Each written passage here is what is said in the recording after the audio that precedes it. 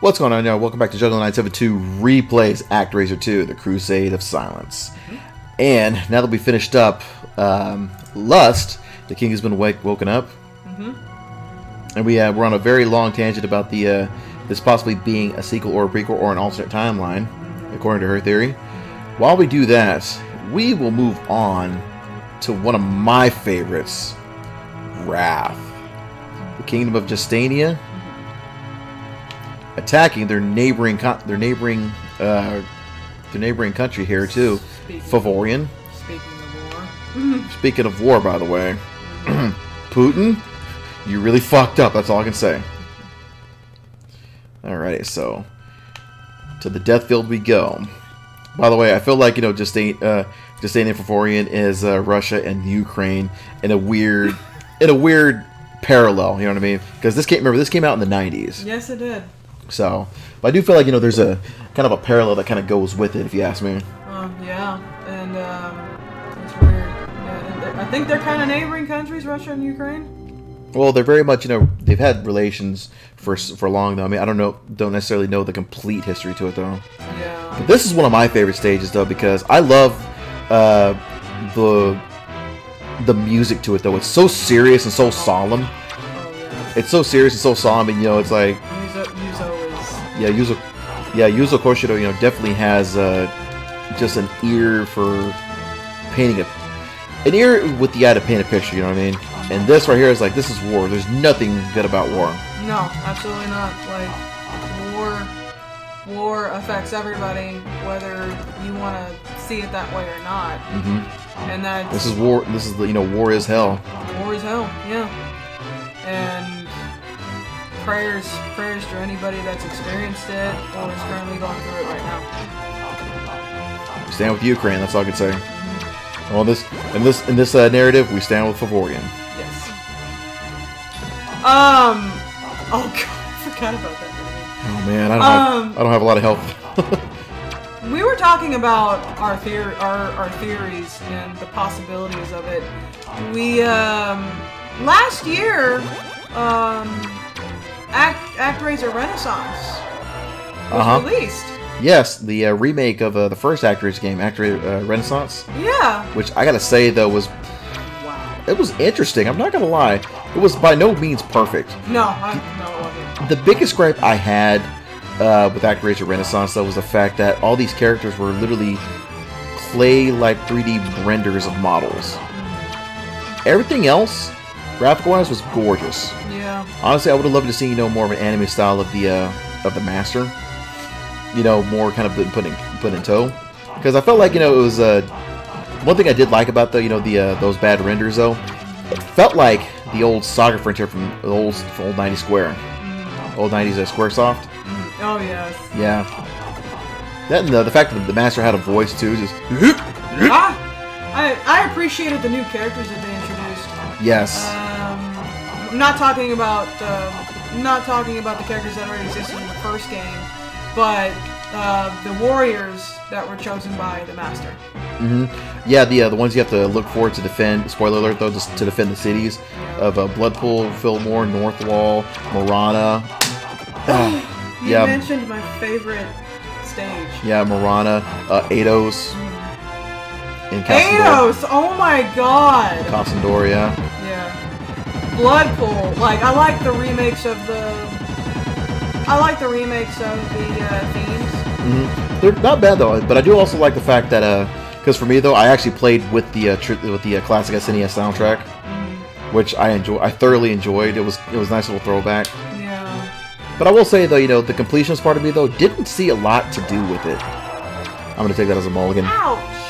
No, you were already low on health. I was already dead. You were already dead. Omae unshinryu. I love the the remake of the Blood Pool theme. It sound the remake of the Blood Pool and Kasandora theme sounded more heroic Mm-hmm. uh, than glue, gloomy, I wouldn't call it gloomy though. Like the original definitely had this, you know, seriousness to it though. archaic. I guess you could say. no, archaic. That, that that's more old. I'm talking about like archaic. You know, means it's more ancient. This Yeah. one, like for this one, it felt like it was. Oh shit! oh god! Yeah, that was too close. Um, no, but with the uh, the remake of the Blood Pool's uh, theme, yeah, it did feel it did feel heroic though. The uh, original felt you know more serious and solemn, Yes, very, very. almost warlike. Yeah, very warlike. But like the Blood Pool Casanova theme in the remake Renaissance is uh, it sounds very heroic compared to. Yeah. Pause. Yo. Okay. One food break later, and we're back to it. Yes. All right. What were we talking about? We were talking about ActRaiser Renaissance, the Uh-huh. remake Yes, the of remake. the first game. Yes. Um, I loved. I, I was just saying that I loved the uh, themes for the the remake themes of the uh, of the original themes. I loved Blood Pool and Kasandora. Blood Pool was one of my favorite stages, along with Northwall. Mhm. Uh, I definitely liked the way Death Heim looked. Oh yeah. It was. Here, here's the thing I'll say about Death Heim though. Death Heim in the uh, in Act- ActRaiser Renaissance is more ephemeral than it is more you know dark and grizz- grisly. You know what I mean? Yeah, It's more ephemeral. That's one thing I actually kind of like about it. But at the same time, that's also kind of a contradiction. yeah, You know? uh, yeah. I get that. Um, I also liked the uh, the hidden the hidden land. Oh, I, I think it's how you pronounce it, Acelion. Astelion or Alcelion, whatever, however you want to call it, and then the final boss, the boss in that in Yeah, that the uh, palace, what was it called? The Arbiter. the Arbiter. Yeah, and that's a that's an interesting final boss though because it looks like another angel, Yeah, angel with a bunch of swords. And uh, you said you had a theory about uh theory about that too. yeah. So what I said on the last episode about there being multiple timelines, Uh huh. I I believe that theory is possible just because of what happened in Alcelion. The angel, the arbiter, the uh, the holy arbiter. There, there's not much known about him. Yeah, you don't know very much about him. He's just uh, it's just a statue, much like you know the uh, the main character Yeah. that kind of comes to life.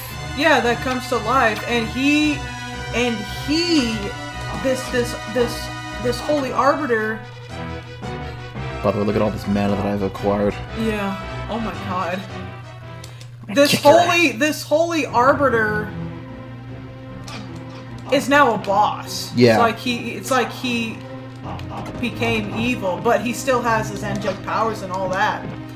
So a lot of people like one of the uh, one of your allies says was he once a master with a servant perhaps? Because if you look, if you look at it too, though, um, there is an angel kind of just near, like I think it's like near above him, or kind of just like flying beside him, mm-hmm. above him. On his like like nearby his headdress, or literally just above him. yeah just above like just like it's like it's like a it's it's like a the, the servant is sitting on on his head. Like a Huh. headdress. Now i didn't see it at first but when i paid attention i was like huh. Yeah, I mean, like I said, the servant probably wasn't there or something, but but what what one of with one of what with what one of the allies said, I was thinking, you know, was this person a former servant? Was this person a former master with a former servant? My theory, adding on to the whole different timeline ordeal, uh huh. that I'm thinking maybe there's a possibility that the arbiter from the Renaissance might be this master right here. It's definitely possible, you know, because this uh this one doesn't well this main character of God, if you will, or the master, if you will, um, is not uh doesn't have a uh, doesn't have an angel. Now he does have angels, as you see in the menu. Yes. You know that see that talk to him. You've got one that's the uh, the first one from the first game, uh, whose name is Crystallis, yeah, and uh, the the one that record records you in safe. yeah, and plus you know you got the uh, the Ladyboy Twink, you know that you have on the Renaissance. Yeah. I, I'm sorry though, but that he a little twink. That's all I can say. yeah. He's adorable. He's adorable, yeah. He's adorable, yeah. But like, I really started to think about it. Or, or it might be, or maybe Act- uh, of Renaissance is probably like a Would you say retelling? a retelling of the story. It's definitely possible though because I, because I do get that I do get that feeling from it. Yeah. I like we, we can all just like assume that maybe it's a retelling of, of the ActRaiser series or, or or just or a reboot. Um, also, I'm open to believe as fuck as weird as this sounds that the Arbiter is the master from the very very first game, ActRaiser One. Definitely and, possible. And actor and the master and ActRaiser Renaissance is like from the future or from I, you know, to me, there's so many other theories that you can go with, though. But I think that's actually probably one of the best theories I've heard. Thank you. hmm I mean, I really haven't paid too much attention to too many game theories with that, though. But honestly, when it comes to that, I'd like to think that if it is, if uh, the art, if the Holy Arbiter is uh, uh, one of the previous masters, I think personally, oh, oh shit, um, not that. Um, I personally think that you know, if, if it's going to be any Arbiter, it's probably going to be the original master. Yeah, I, I think so too. I'm open to the belief that it could be this this master right here. Um, granted, he doesn't have a shield, but he has like tons of swords. And after you beat the game, you'll see that he turns back to stone and he weathers down. Yeah. I mean, and also, but it also happens that it's also you know pretty uh, close to ha- uh, thinking that it happens to the first guy, but it doesn't happen to the first one. It only happens uh, to this. You know, spoiler alert. You know, um, it happens uh, to this master and actors too. Yeah. Um, God, gosh damn these these little. I also believe that the Arbiter probably lost faith in the people. Hmm.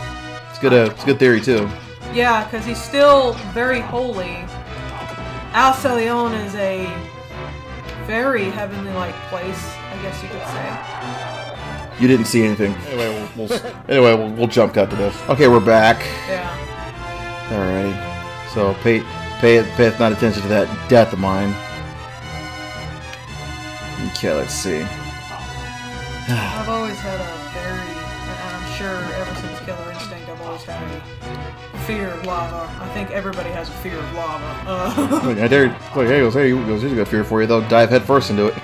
you don't die. You don't die instantly. I'll tell you that right now. no, you don't. Like lava is, keep in mind, is melted rock. Oh yeah, that's all it is. And on this side too, you know, can you imagine uh, the demon fury?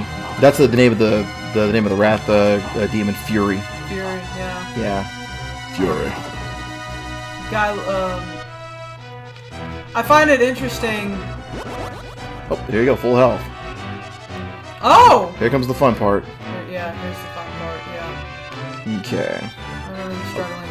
I love I love levels that skull. Uh, there he is.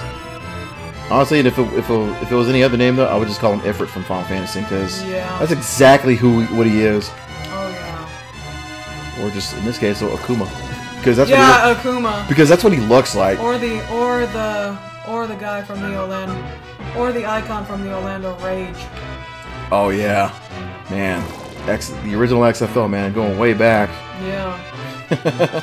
I loved the Orlando Rage. That was my team. Yeah.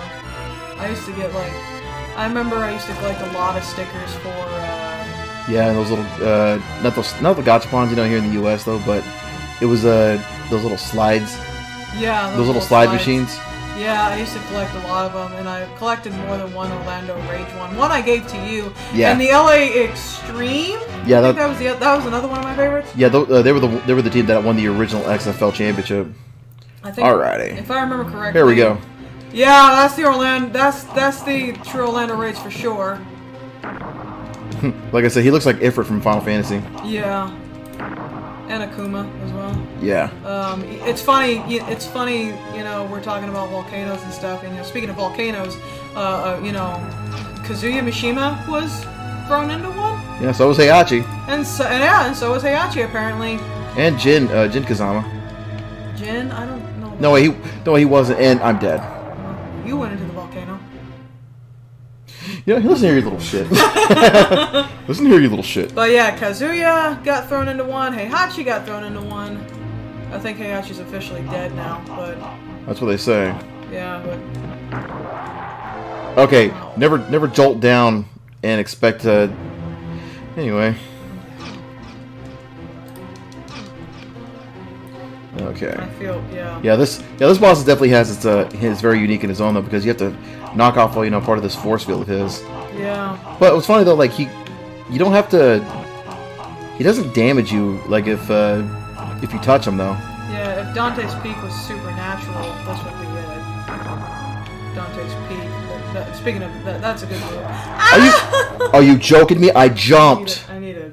Are you fucking joking me? I jumped. Oh, I, I see what you're talking about. Yeah. Okay, so I guess I've got no mana, so I can really, I guess.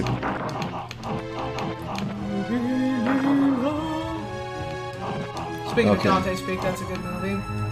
Pierce Brosnan, and who else was in it? Um, um, I know, I, I know, I, I see the face of the actress. I can't remember her name for the life of me, but I, I never wanted to. That movie was the reason why I never want to go near a volcano. There we go. He, like, once once you figure out, you know, his little uh, path though, because you're always moving. But uh, when you do that little path though, he's actually pretty simple to figure out. But in Death Heim though, he you have to fight him and the Greed Demon.